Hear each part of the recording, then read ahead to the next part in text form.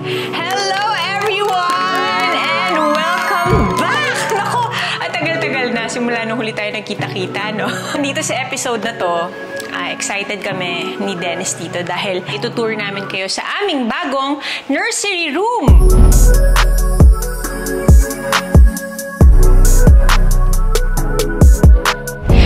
Kailangan na kasi namin ng isa pang room. So, a few months ago, nag-decide kami na i-convert ang aming staff room at gawing um, nursery room. Dahil nga, syempre kailangan namin paghandaan yung bagong membro ng aming pamilya. At syempre kailangan niyang magkaroon ng sarili niyang kwarto, lalagyanan din ng mga gifts at saka mga gamit niya.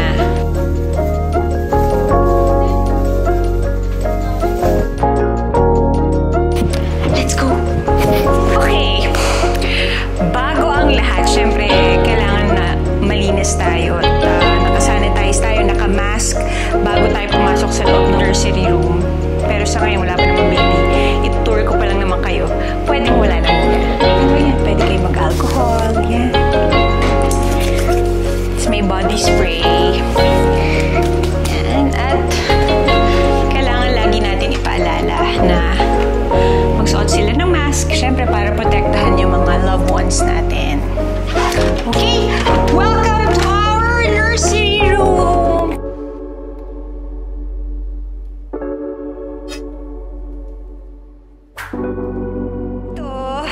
okay. Sabi ko, saan ko ba ilalagay yung, kasi parang gusto ko ng um, shelving para sa mga books. Ah, wala na kaming space masyado dito sa room. So, naisip ko na merong corner dito na pwedeng lagyan ng mga shelves. Yan, dyan ko na lang siya sinabit.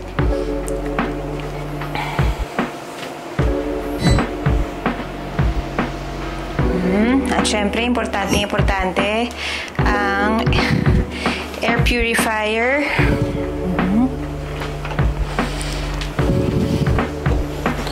Ma-filter yung hangin. Ito namang area na to, ito yung changing area. Merong, merong dresser sa ilalim. Yan.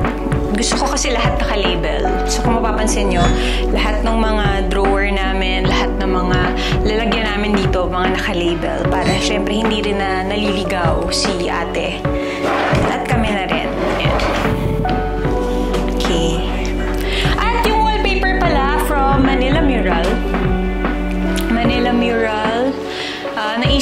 Namin ni Dennis na mas maganda yung mas colorful. Diba? May pink, may green, tapos may flamingo para mas fun. Ito yung first letter ng name niya. Sa ngayon, hindi muna namin i-reveal. Antayin nyo yan. Hmm. Sa isip namin nalagyan ng mirror para nakakapagsalamin ako. Hindi. para ano, para syempre si baby nakikita niya rin yung sarili niya. Di ba? Okay. Ano pa? So, itong dresser na to eh galing, ah, ginawa ng Winx Furniture. Yan. Okay, next!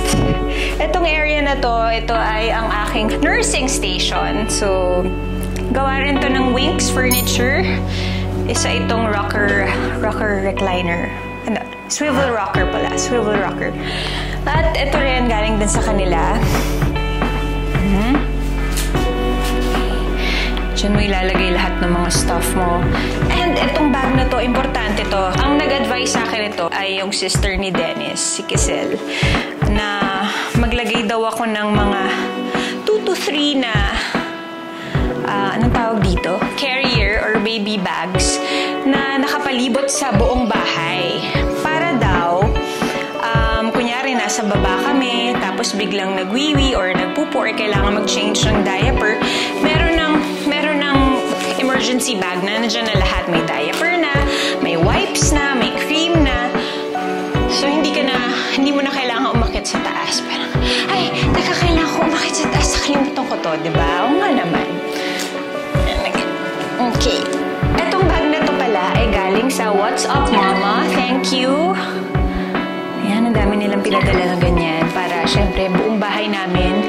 Sulok, eh may ganyan. okay. Ito, importante daw din to. Um, may mga nakakapagsabi sa akin na yung suture ay nakakatulong sa pampakalma ng baby, pampatulog.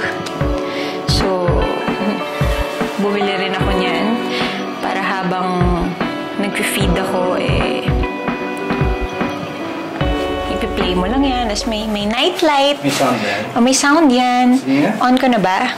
Teka lang, hindi nakasaksa. Okay lang. Pwede nating ano, isa ko, parang, parang paiki... Okay. So, ganito siya. Um, meron siyang nightlight. Tapos, yan. Yari, madilim o gabi habang nag-feeding kami ni baby. Yan. May iba-ibang sounds. May lullaby. Yan. Ano marinig nyo? Lakasan natin. Ay. Yan. May white noise. Ganyan. May bagyo. Bagyo. May bagyo. Oh. Parang bagyo nga talaga. Okay, dito naman tayo sa ating next station. Itong next station naman, um, dito ka na nilagay yung pang-sanitize. Ah, pang-sterilizer, sanitizer from Upang. Ay, may laman na. Oh. Yan. Ayun, si Papa. Tapos, andito rin yung aming weighing scale na may pang-measure ng pang-measure siya ng height eh.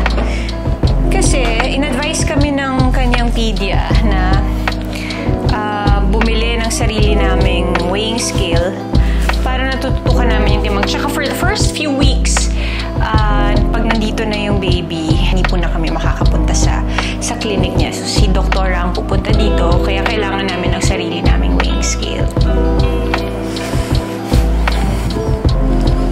Tapos kung mapapansin nyo, meron kaming, ito, pinaana lang.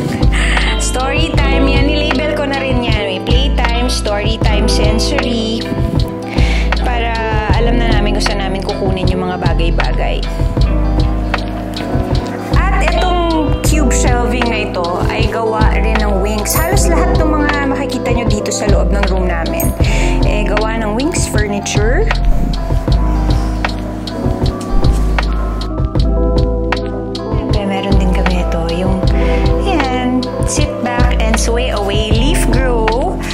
from Nuna.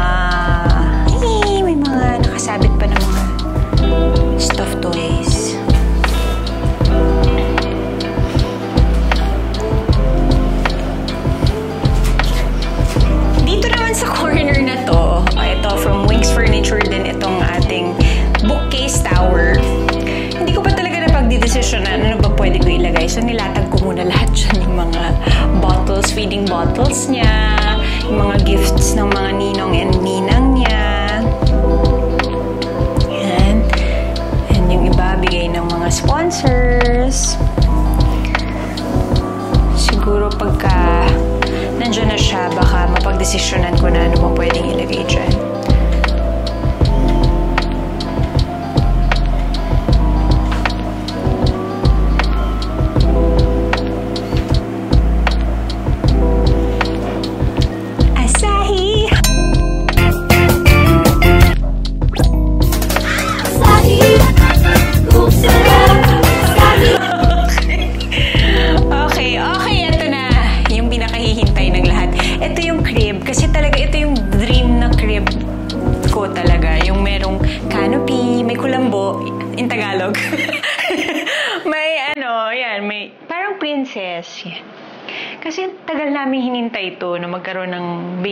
So talagang binigay ko na. Binuhos ko na. Ayan. Hmm. At syempre, itong crib na to, gawa rin ng Winx Furniture. At syempre, yung camera, yung talagang binibida ni Papa. Ayan, yung camera. Binili ni Papa yan. Na kung mapapanood mo to, si Papa ang bumili niyan sa Amazon. Hindi, yung camera na yan talagang nirequest ko yan kay Dennis kasi sabi ko kailangan natin ng baby camera na non-wifi. Kasi, paano kung mawala ng kuryente, walang wifi? Paano, di ba? Gusto nating nakikita pa rin yung yung lagay ng baby natin kapag ka walang kuryente. Pwede rin niyang ilagay sa ano, baby. Pwede rin siyang ilagay sa power bank para magkaroon ng power. At ito naman pala, ito pa baby, galing sa Coco Lala. Ang cute na cute na basket na yan. Diba ang arte-arte? Arty-arty!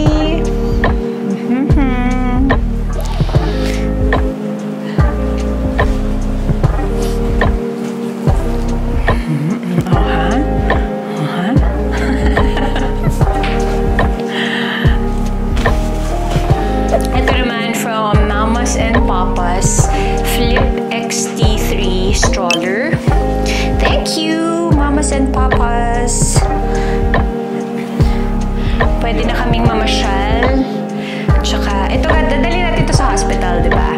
Yes. Ito na yung dadali natin sa Ito hospital. yung signature edition. No? Nakas. Thank you. Ito, ito nga yun. Kasi rose gold din siya. Yan, oh. Babaeng babae po.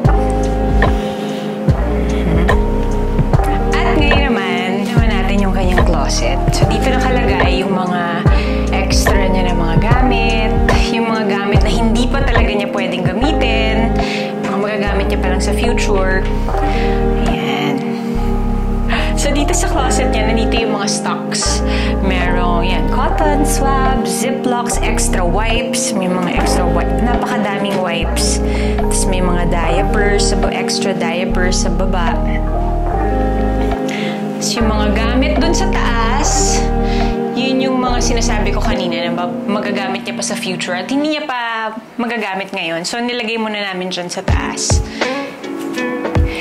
Ito naman yung um, gumawa lang ako ng too small tsaka too big na lalagyan tsaka hangeran para yung mga hindi niya na naisusuot, lalagay niya dito masyado ng maliit or masyado, masyado pang malaki, hindi niya pa masusuot.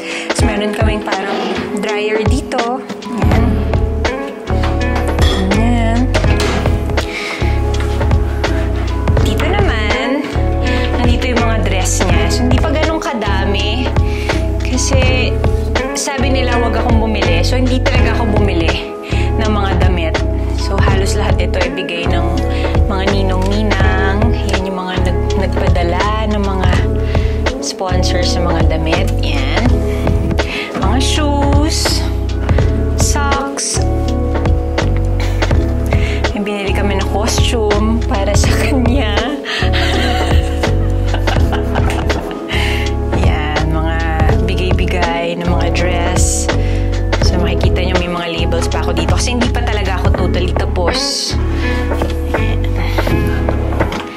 Hindi pa ako nakakapag-decide kung ano ba yung mga pwede ko pang ilagay dyan. So yun, may mga extra bags sa taas, mga baby bags.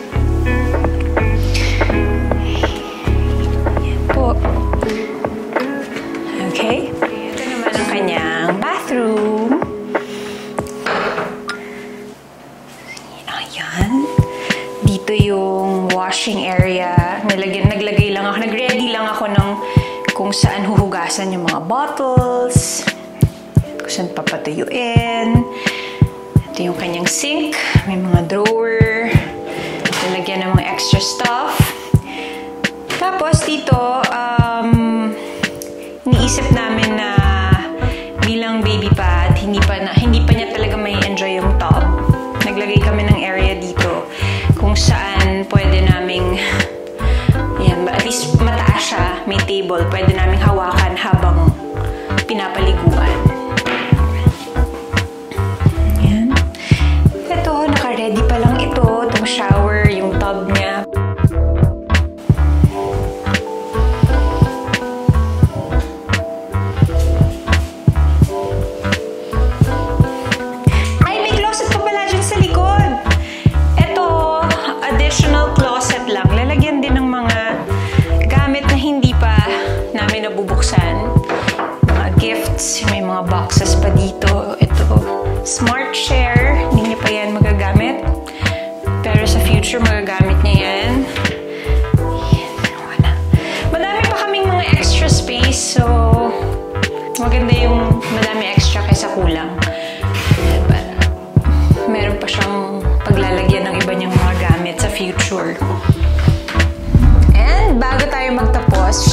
Gusto ko muna magpasalamat sa lahat ng mga tumulong sa akin para mabuo itong nursery room na to.